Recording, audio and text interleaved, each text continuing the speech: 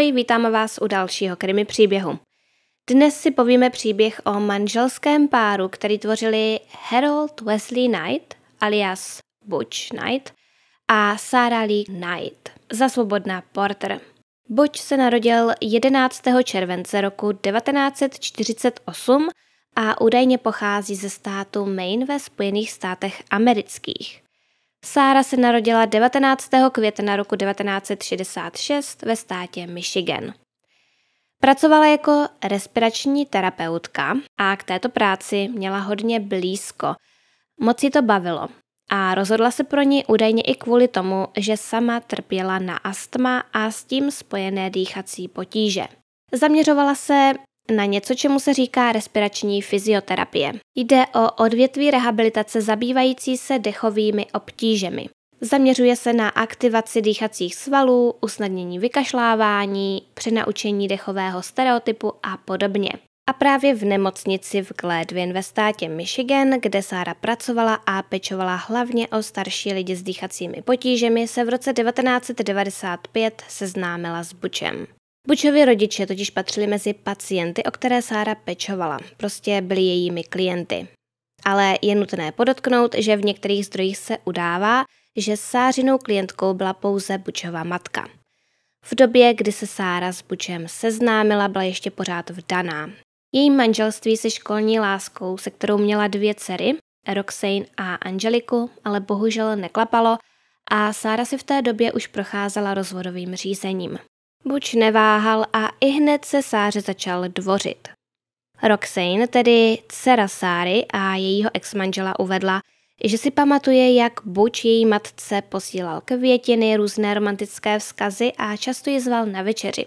Když se pak Sára se svým manželem konečně rozvedla, Buč byl v přítomnosti Sáry čím dál víc. Skoro každý víkend se u nich objevil s tím, že ji vezme na výlet nebo do restaurace. Sára pro něj začala mít slabost.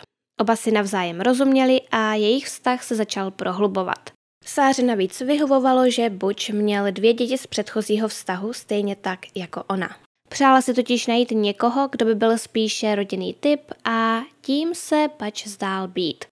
Vše se vyvíjelo dobře a i přes poměrně velký věkový rozdíl těch dvou, šlo o 18 let, jim to fungovalo. A proto se rozhodli, že svůj vztah posunou zas o něco dál a tak se v roce 2001 vzali. Po svatbě začali také společně bydlet ve městě Gladwin ve státě Michigan a to v domě, který pro ně Buč postavil. Podle sousedů, přátel a známých měli ti dva opravdu hezké a šťastné manželství. Po celou tu dobu jejich 13-letého vztahu si navzájem psali zamilované romantické vzkazy a chovali se k sobě jako čerstvý pár, nebo tak to tedy vypadalo na venek. Buď Sáru oslovoval jako Honey Bunny a ona mu jeho milá slova opětovala a říkala, že on je její každodenní Valentín. Protože když se slaví Valentín, tak se aspoň teda v Americe někoho ptáte, jestli bude váš Valentín. A Sára říkala, že Buč je jejím Valentínem každý den jejího života. Ona navíc opravdu zbožňovala svátek svatého Valentína a proto si její manžel každý rok dával záležet, aby ji potěšil a kupoval jí obrovská přáníčka, ta největší, která mohl najít. Nikdy na tento svátek nezapomněl a vždycky se náležitě snažil.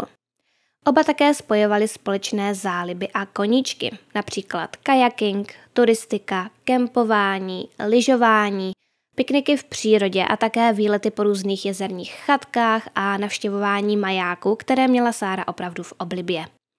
Celkově opravdu hodně času trávili venku v přírodě. Užívali si jeden druhého a žili naplno. Vypadalo to, že jsou jeden pro druhého jako stvoření. Ale jak šel čas, tak se ve vztahu začaly objevovat první nezhody a problémy. Ty však pár dokázal dobře skrývat a všechno to tak nějak zůstávalo tajemstvím. Jen velice pozorní lidé a blízcí páru si mohli všimnout, že je něco v nepořádku. Největším problémem byl vztah, který měl Buč k sářiným dcerám. Roxane uvedla, že ho neměla ráda. Prý se k ní nechoval hezky a taky o ní neměl zrovna nejlepší mínění. Dával jí dost často najevo, že si o ní myslí, že je hloupá a dokonce se jí to nebál natvrdo říct. Jednoho dne Sára poslala Roxane s Bučem na loďku rybařit.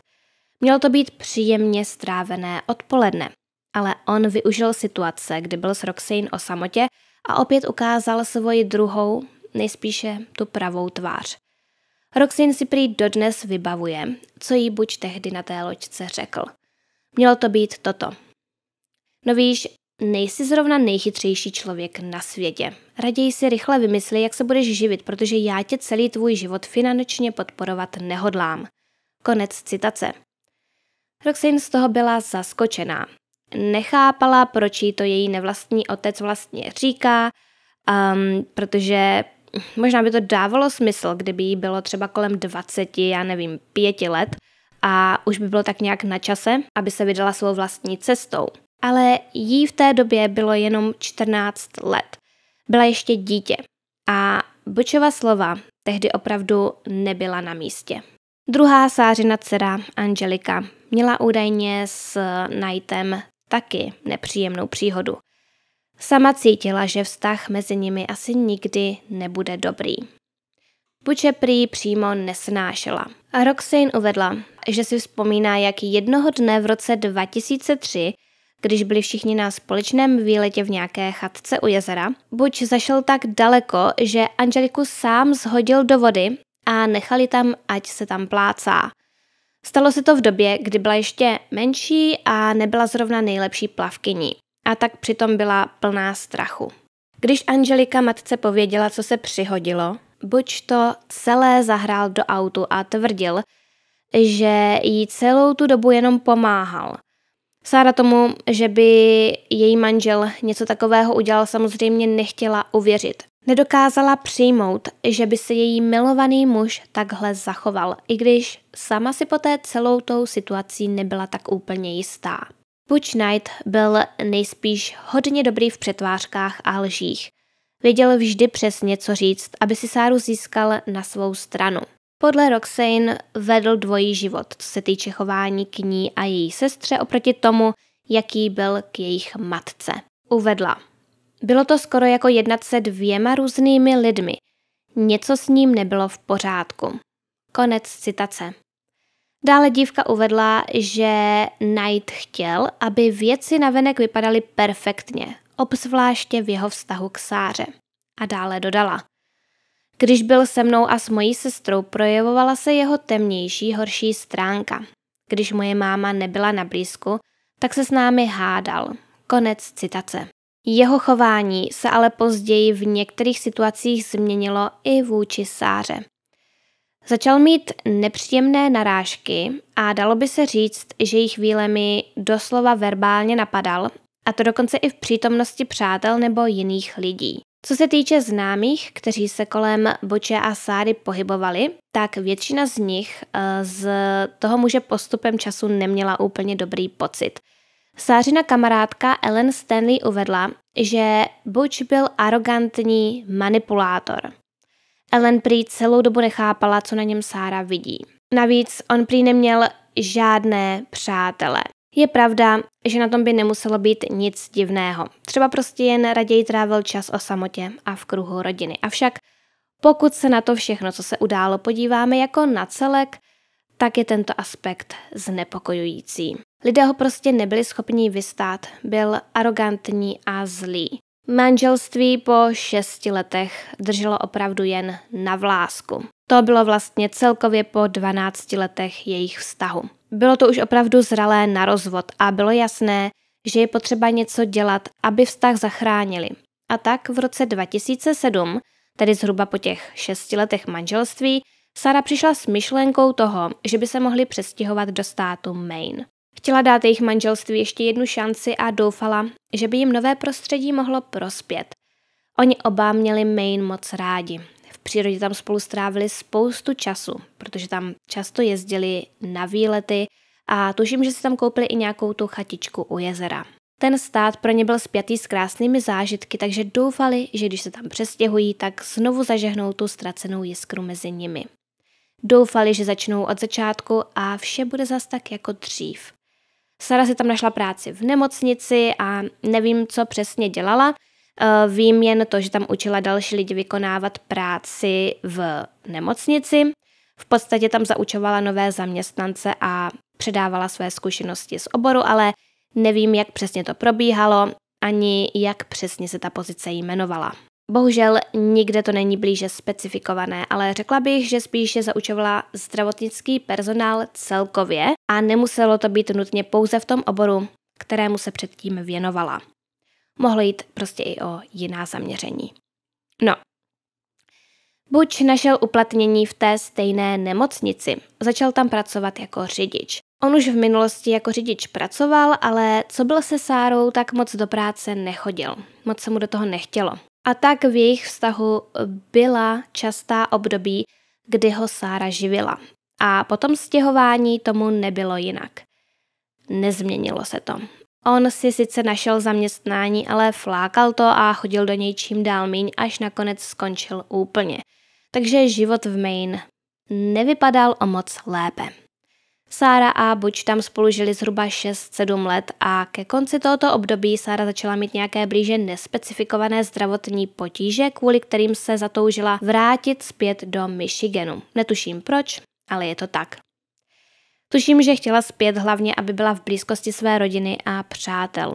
No a jednoho dne Sára své dceři Roxane po telefonu řekla, už dál nechci žít v Maine a asi tři týdny na to přijela do Michiganu. A tou dobou už byly její dcery dospělé ženy a měly vlastní muže a nejspíš i rodiny. A Sára se do Michiganu přestěhovala právě za Roxane, která tam bydlela společně se svým manželem a Sára se tam přestěhovala sama. Bez buče. Našla si práci v jednom tamním zdravotnickém zařízení a život plynul dál. Všechny zajímalo, co se stalo, že se Sára do Michiganu vrátila bez svého manžela a asi nejvíce to pochopitelně zajímalo její vlastní dcery. Ale Sára o svém manželovi vůbec nechtěla mluvit. Když se jí někdo zeptal, proč žijí odděleně, tak odmítla odpovědět, nebo to zamluvila, prostě změnila téma nebo něco takového. Nikdy neuvedla přesný důvod jejich rozdělení a o to záhadnější to pro všechny bylo. O to víc to všichni chtěli vědět. A možná odpověď se jim naskytla úplnou náhodou. Roxane o nějakou dobu později, o delší dobu později, našla v Bibli své matky založený dopis, který Sáře napsal právě Buč. A rozepsal se v něm o tom, že se snaží dát si život do pořádku. Napsal, že dělá všechno to, co po něm chtěla a je lepším mužem. Podle tohoto dopisu to vypadalo, že Sára dala svému manželovi nějaké ultimátum. Prostě buď si dá do pořádku svůj život, najde si práci, a nebo ať se za Sárou do Michiganu už nikdy nevrací. Zhruba sedm měsíců tedy manželé žili odděleně. V létě roku 2014 se ale Buč přestěhoval do Michiganu a znovu se dal dohromady se Sárou. Zřejmě přistoupil na její podmínky a přesvědčil ji o tom, že se snaží a bude jí lepším manželem. Společně si tedy našli dům v Elgin County, kousek od města Fenville. Bohužel Sára si dělala falešné naděje. Netrvalo totiž dlouho a vše se vrátilo do zajetých kolejí a její manžel se tentokrát ani nenamáhal hledat si práci. Odkládal to a přicházel s jednou výmluvou za druhou a Sára byla ta, která domů přinášela veškeré peníze a oba je živila. Pracovala v podstatě neustále a přesouvala se mezi různými nemocnicemi napříč západním Michiganem, aby vydělala dostatek peněz – Pracovala celkem ve třech různých zdravotnických zařízeních, zatímco její manžel nikde. A to, že Sára byla tím, kdo pracoval, by bylo v pořádku možná tak, kdyby buď zastával roli muže v domácnosti a musel by se starat o děti, ale tak tomu nebylo. Všechny děti už byly odrostlé a bydlely ve svém. A co se týče domácích prací, tak ty též nedělal. Neuvařil, nepoklidil nic. Ale i tak chtěl být hlavou domácnosti. Chtěl, aby všechno bylo podle něj a snažil se Sáru kontrolovat. Přitom on do toho vztahu vlastně nic nepřinášel. Trval dokonce i na tom, aby spravoval finance. Prostě i přesto, že veškeré peníze vydělávala Sára, chtěl držet kasu a nadával jí, že vydělává málo a rozhodoval o tom, jak a za co se bude utrácet. A na to samozřejmě neměl nejmenší právo. Sára jen co dostala výplatu, celou ji odevzdala manželovi. Katie von Horn, jež byla Sářinou kamarádkou, uvedla, že Sára po tom, co výplatu odevzdala manželovi, neměla ani cent. Buď jí nenechal vůbec nic. Prostě ani nějaké drobné, aby si třeba po práci zašla s kamarádkami někam posedět na kafe. Neměla vůbec na nic. Nejspíše to dělal, aby ji měl pod kontrolou, protože podle všeho měl čím dál větší potřebu mít Sáru pod neustálým dohledem. Musel vědět, s kým se stýká a kdy a s kým telefonuje a proč a chtěl vědět o každém jejím kroku. V lednu roku 2015 Roxane zavolala své matce, aby se s ní domluvila na detailech spojených s rodinou sešlostí a při tomto telefonátu se Sára své dceři svěřila, že se buď poslední dobou chová divně a nepřirozeně. Navíc se blížilo jejich výročí a Sára z toho byla hodně zarmoucená. Zněla smutně, protože nedokázala pochopit, co se to s jejím manželem vlastně děje. Do poslední chvíle se snažila, aby své manželství zachránila. Snažila se dělat všechno, co po ní její manžel chtěl. Spravoval i finance, i přestože ona vydělávala a jemu to pořád očividně nebylo málo. Podle okolí byla Sára opravdu dobrou manželkou a rozvod prostě nechtěla. Proto jí chování manžela vůči její osobě stále nebylo lhostejné i potom všem. Bohužel. Roxane matku po telefonu uklidnila s tím, že se vlastně blíží jejich výročí. Tak je dost možné, že pro ně má buď naplánované nějaké velké překvapení a to, že se chová divně, může být i kvůli tomu, že se bojí a je nervózní, aby si něco neprozradilo dřív, než má. Sára naznala, že to dává smysl a uklidnilo jí to. Opět bohužel. Toto bylo naposledy, kdy Roxane se svojí matkou mluvila. O pár dní později, 13. ledna 2015, se konečně přišlo na to, co buď celou tu dobu plánoval a proč se choval tak zvláštně. Onoho dne, kolem 8 hodiny ráno, někdo zavolal na tísňovou linku 911 a řekl V neděli 11. ledna jsem ji uškrtil. Je mrtvá a leží na zemi v obývacím pokoji. Konec citace. Když se dispečerka zeptala na jméno volajícího, ozvalo se to není důležité, chystám se odcestovat ze země, ale musíte sem poslat policii, aby udělali cokoliv, co dělají s mrtvými těly. Děkuji. Ten přeložený telefonát na linku 911 najdete na mém Patreonu. Buď na něm zní opravdu velice chladně a jde vidět, že je naprosto v klidu. Muž, který volal na linku 911, byl později identifikován jako Butch Knight. Identifikoval ho jeho vlastní syn, který zkrátka s jistotou poznal jeho hlas.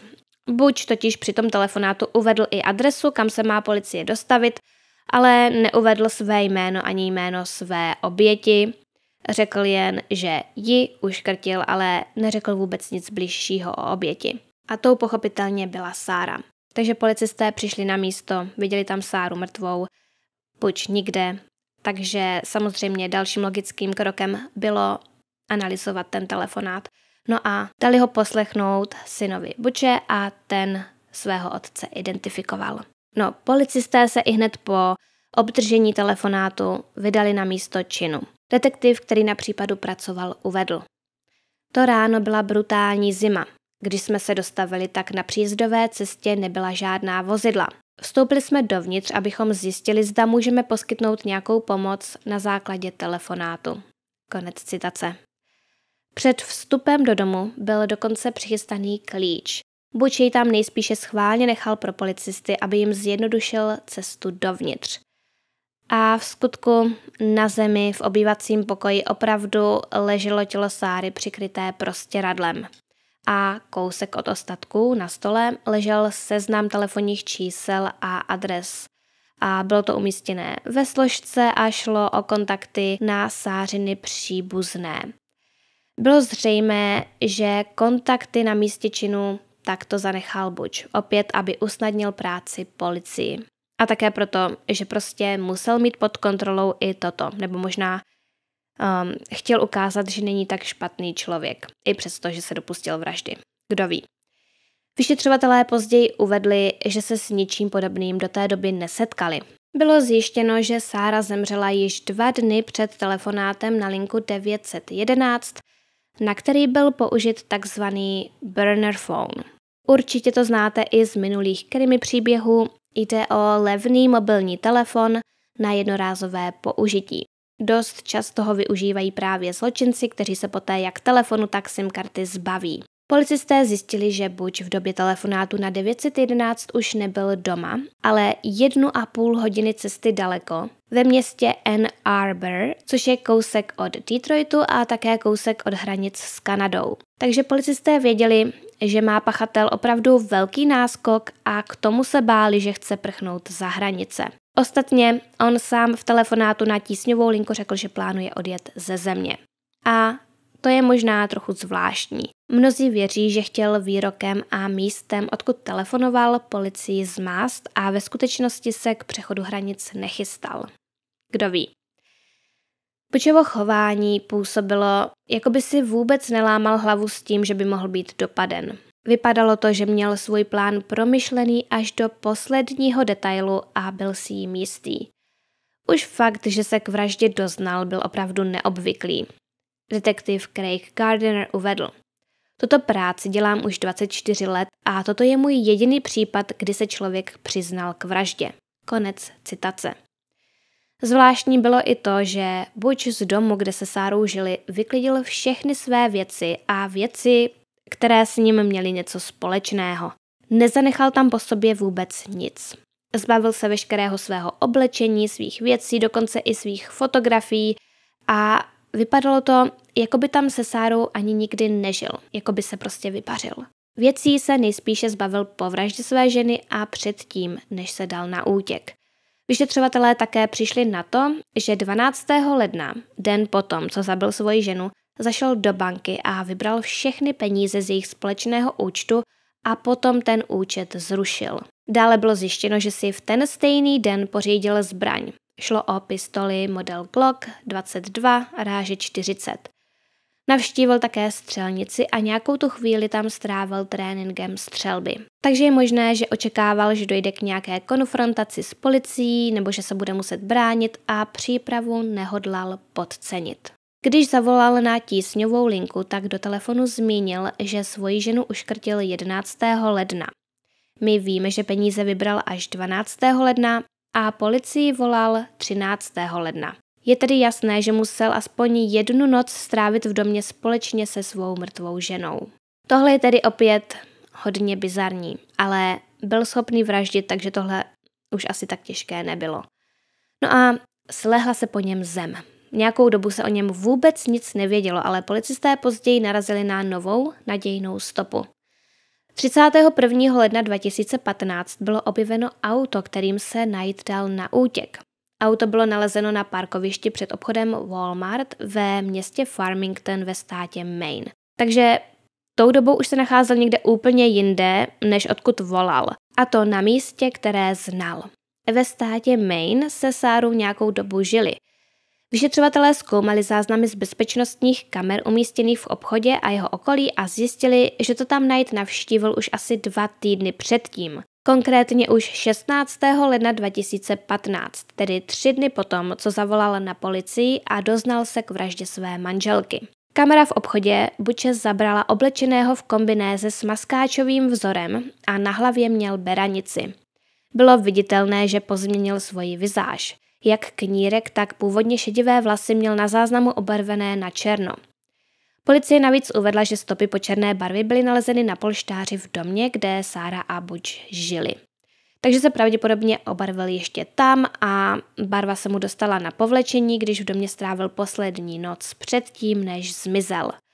Každopádně v tom Walmartu si měl též zakoupit tmavou barvu na vlasy, takže ji měl buď do zásoby, nebo se mu barva moc rychle vymývala a potřeboval další.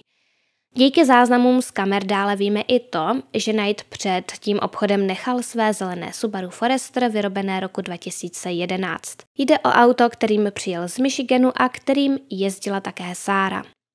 Poté, co si nakoupil, nastoupil k někomu cizímu do auta. Prostě si vzal stopa a opět díky kamerám policisté přišli na to, že se nechal zavést do motelu. A policisté později přišli na to, že tam byl ubytovaný už od 15. ledna 2015. Takže rychle to zhrneme, ať nám to dává větší smysl. On se v tom motelu ubytoval už 15. ledna, 16. odjel do Walmartu vzdáleného zhruba 57 km od motelu, aby si tam nakoupil, zanechal tam své auto a nechal se odvést zpět na motel stopem. Jeho Subaru bylo nalezeno právě až 31. ledna pod nánosem sněhu a registrační značky byly samozřejmě odstraněny. A až po nálezu toho auta toto všechno vyšlo najevo. Teď tedy zpět k povídání o tom motelu. Ubytoval se v motelu Town and Lake ve městě Rangeley, jež se též nachází samozřejmě ve státě Maine. Rangeley je dost odlehlé místo a právě proto se tam Knight vydal. Takže neprchl do Kanady, nebo aspoň ne do té doby. Ale i toto místo, stejně jako to, odkud volal na linku 911, je opravdu blízko kanadských hranic. Přesněji je to pouze 24 kilometrů.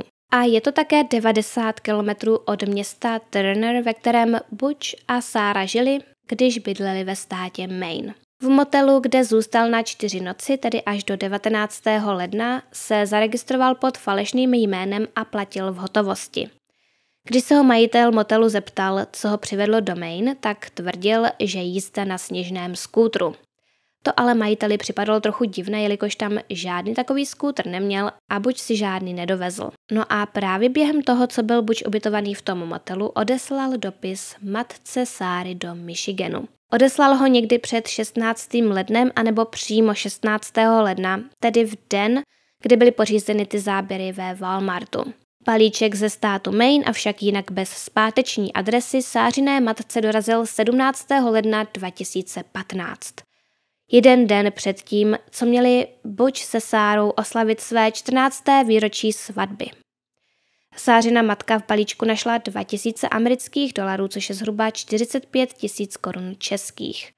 Bankovky byly zabaleny v novinách a byl u nich přiložený dopis, kde stálo, aby rodina peníze využila na kremaci Sáry, jelikož ona sama si prý vždy přála být spopelněna. K tomuto se vyjádřila Sářina kamarádka jménem Julia.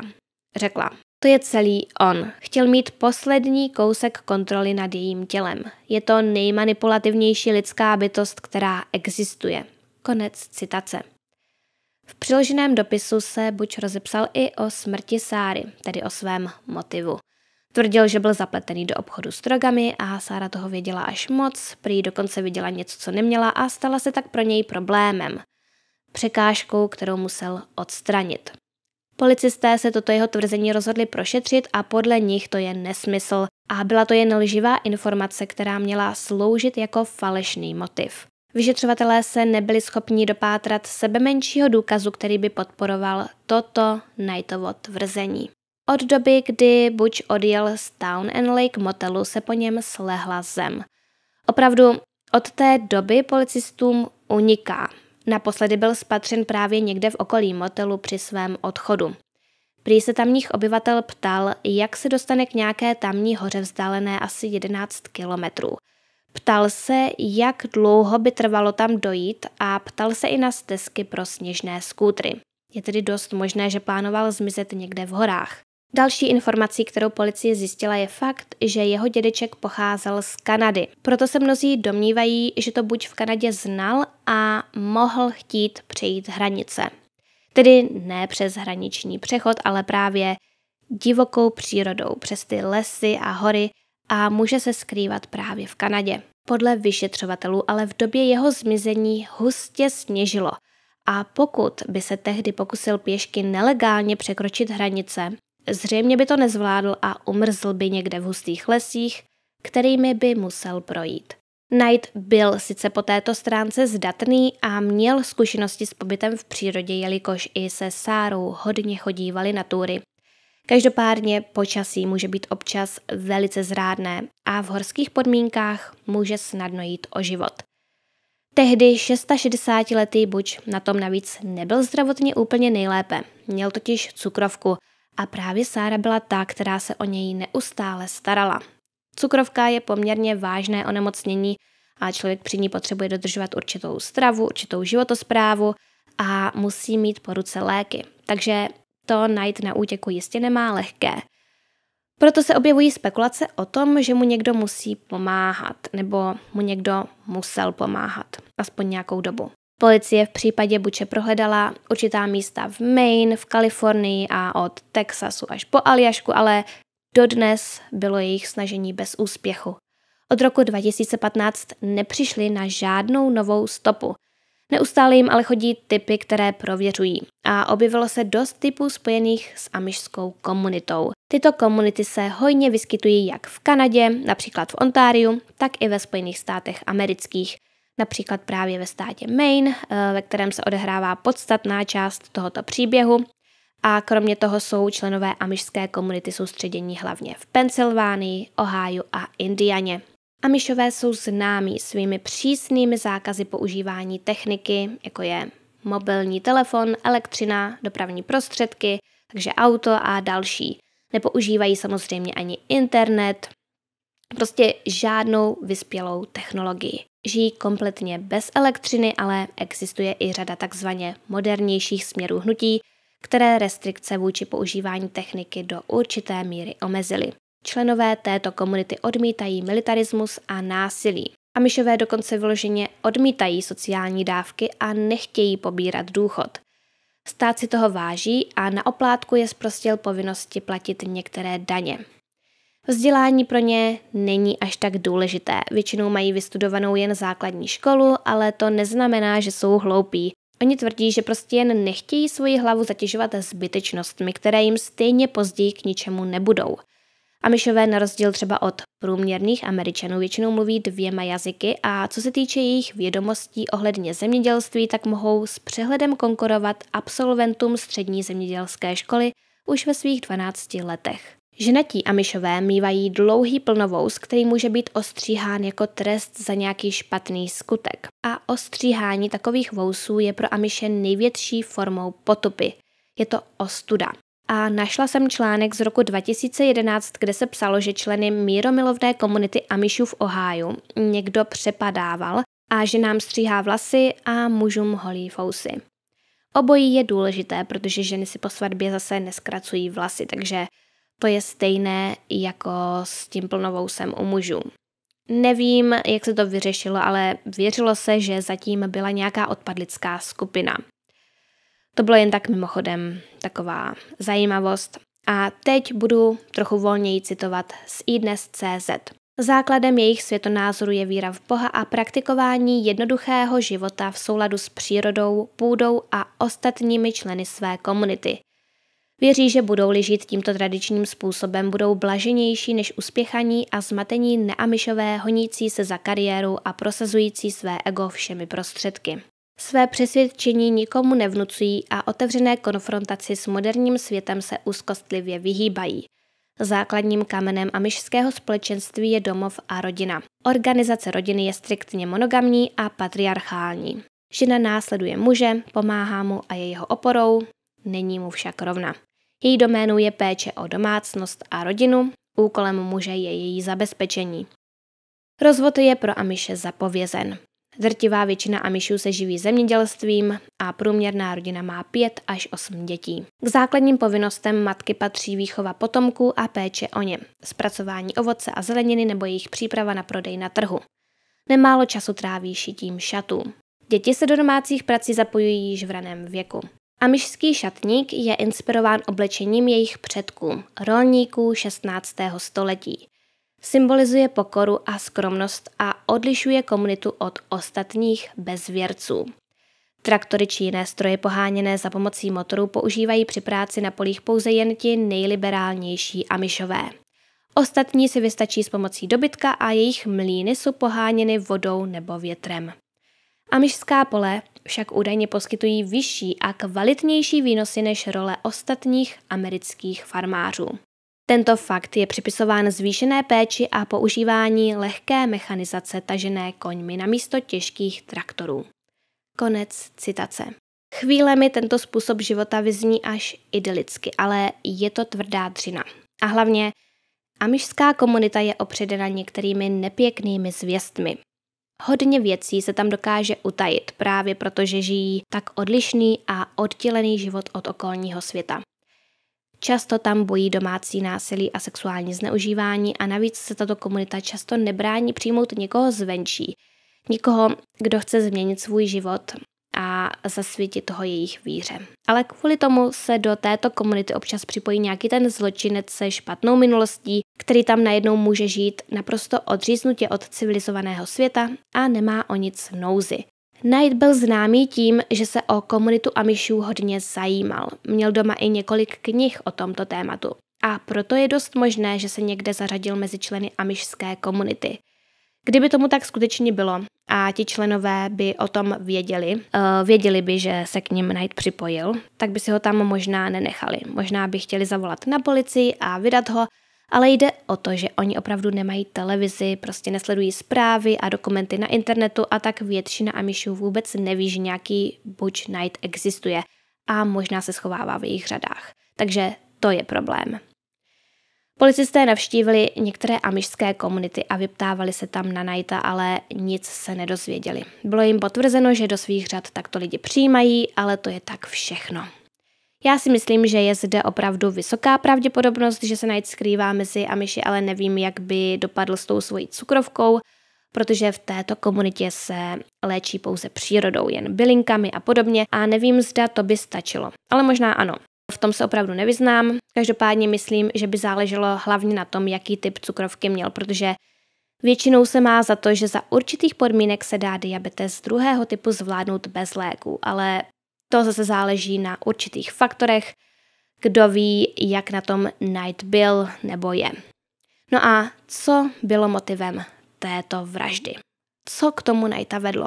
Sářina dcera Roxane uvedla, že mohlo jít o to, že její matka chtěla Buče po všech těch letech konečně opustit a on to prostě neunesl. Řekla, plánovala ho opustit, ale nás tím nikdy nezatěžovala, takže to nemohu vyloženě potvrdit ani vyvrátit. Ale zdá se, že máma měla bankovní účet, o kterém on nevěděl a zařizovala různé náležitosti, pravděpodobně proto, aby ho mohla opustit, ale nevíme proč. Konec citace. Takže Sára podle všeho měla ještě jeden účet, o kterém buď nevěděl a dost možná si tam šetřila peníze, aby od něj potom mohla opravdu odejít. Sářina kamarádka Ellen Stanley si dodnes vyčítá, že zmeškala Sářin hovor den před její smrtí. Sára jí poté zanechala zprávu na Facebooku, ve které stálo Pokoušela jsem se ti dovolat. Žádné vysvětlení, pouze tato krátká zpráva. Ellen se domnívá, že jí Sára volala a psala právě proto, že se konečně rozhodla opustit svého manžela a potřebovala pomoc a oporu své kamarádky. A když jsme u toho Facebooku, tak chci říct, že je pravděpodobné, že Knight sleduje nebo aspoň nějakou dobu sledoval facebookové profily rodiny a známých Sáry. A 15. května 2015, tedy asi čtyři měsíce po vraždě, se nejspíše přihlásil přímo do Sářina profilu na Facebooku a lajknul přes ten účet fotku jednoho Sářina příbuzného, jež měla v přátelích. Podle rodiny to musel být jedině Knight, jelikož nikdo jiný neznal heslo k jejímu účtu. Roxane se ho pak prostřednictvím Facebooku snažila nějak vyprovokovat a mm, sdělala příspěvky na jeho zdi, posílala mu zprávy, sdělala i příspěvky na své zdi a Snažila se ho přimět k nějaké reakci. Chtěla ho přimět k tomu, aby se cítil špatně, aby spitoval svědomí. Doufala, že když mu bude hrát na city, tak se prostě jednoho dne sám dostaví na policii, nastoupí do vězení a bude po všem. Založila facebookovou stránku s názvem Justice for Sarah Lee Knight, tedy Spravedlnost pro Sarah Lee Knight. A pokud se díváte na video, tak tu stránku právě teď můžete vidět. 18. prosince 2020 Roxane přidala příspěvek ve znění Mým vánočním přáním je, aby se Buč sám vydal policii. Buči, pokud to čteš, věz, že bychom všichni mohli najít mír a klid, kdybys byl ochotný přijmout odpovědnost. Konec citace. Občas se na profilu také objeví příspěvek upozorňující na to, jak dlouho už je Buč na útěku. 18. ledna 2019 to bylo už 1465 dní. Caroline Clore, Sářina matka, uvedla, že nechápe jak to, že policie Knighta ještě nenašla. Řekla, nechápu, proč ho ještě nedopadli. Řekl jim, co udělal. Ještě mi napsal dopis. Dělá z nich hlupáky. Konec citace.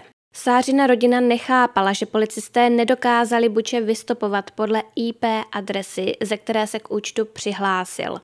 Ale šlo o to, že tyto informace Facebook nechtěl poskytnout. Rodina usilovně pracovala společně s policií k získání soudního příkazu, který by Facebooku nařídil tyto informace poskytnout. Dodnes se však vůbec nic nestalo, takže nevím, jak to dopadlo. Ale buď teď může být už úplně někde jinde, protože toto se stalo v roce 2015. Ale i tak mohlo by to možná poskytnout důležité informace o tom, kde se v určitou dobu nacházel a mohlo by to policisty navést na stopu. Je tomu už sedm let a buď je stále na útěku, nebo již mrtvý. Celá rodina by si ale samozřejmě přála, aby byl dopaden a stanul před soudem. Je pro ně důležité, aby spravedlnost zvítězila. Roxane uvedla. Řekla jsem vyšetřovatelům, že chci, aby ho přivedli živého, protože ho chci vidět před soudem. Chci ho vidět v oranžovém, jak stojí před soudcem a čeká na odsouzení. Konec citace. Doufejme, že k tomu někdy dojde. Jemu už je teď nějakých 73 let, eh, tedy v době, kdy toto video zpracovávám, a to je už docela vysoký věk. Takže je možné, že jednoho dne někde umře a pak se zjistí, kde celou tu dobu byl, co dělal a jak se vlastně schovával. Tedy pokud není v té amišské komunitě. Nevím, jak to tam mají z pohřby, jestli by nějak kontaktovali úřady, těžko říct. Je možné, že by tam mohl zemřít a my bychom se o tom už nikdy nedozvěděli. Sára byla laskavá žena, opravdu milující manželka, která svému manželovi dala hned několik šancí na to, aby si dal život do pořádku a trochu se snažil, ale on jí to oplatil tak, že jí vzal život, když jí s ním došla trpělivost. Nechtěl, aby žila s někým jiným než s ním. Pro něj bylo lepší, že už nebude žít vůbec. To je opravdu děsivé. Říká se, že každý vrah je něčí soused, ale mnohem častější je to, že ten vrah každý den spává vedle vás.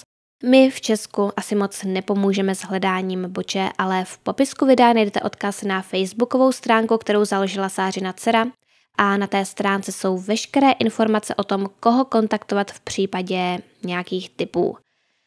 Ode mě je to pro dnešek všechno, ale ještě neodcházejte. Eh, chci popřát všechno nejlepší mým patronkám Nikole, Daně a Petře. Přeji vám všechno nejlepší, hodně štěstí a hlavně zdraví a moc vám děkuji za vaši podporu. No a také bych zde chtěla vyzdvihnout youtubera Tadáše, kterého jistě mnozí z vás znají, i hlavně mladší sledující. Tadáš dělá mimo jiné videa třeba i o konspiračních teoriích a dost se zaměřuje třeba na slavné, na tiktokery a podobně. A je moc šikovný a moc mu děkuji za to, že mě zmínil v jednom ze svých videí. Vážím si toho a pokud se vy chcete mrknout na jeho kanál, tak odkaz najdete v popisku. No a pokud se vám tento příběh líbil, tak prosím toto video lajkněte a odebírejte můj kanál, protože nové příběhy vydávám minimálně jednou týdně. Pokud se chcete dozvědět více informací o mé tvorbě, například pokud chcete s předstihem znát témata dalších krimi příběhů nebo časy jejich vydání, Můžete mě sledovat i na Instagramu, profil nese název krimi.příběhy. Na závěr bych tak jako vždy chtěla poděkovat mým patronům, jejichž jména právě teď běží na obrazovce a jmenovitě bych chtěla poděkovat patronům, kterými jsou Tereza, Nikola, Sofie, Michal, Frnďas, Matěj a Petra, Miranda, Jackie, Anet, Jolana, Sage, Petra, Denisa, Krátká startka, Natalie, Evženie, Gigi, Aťka, Markéta, Terezie, Kuba, Andrá, Martin, Diana, Antonie, Dagmara, Kachnička, Jitka, Kate Von Hell, Mirka a Anička. Všem vám moc moc děkuji za zhlédnutí a komentáře a uvidíme se zase příště.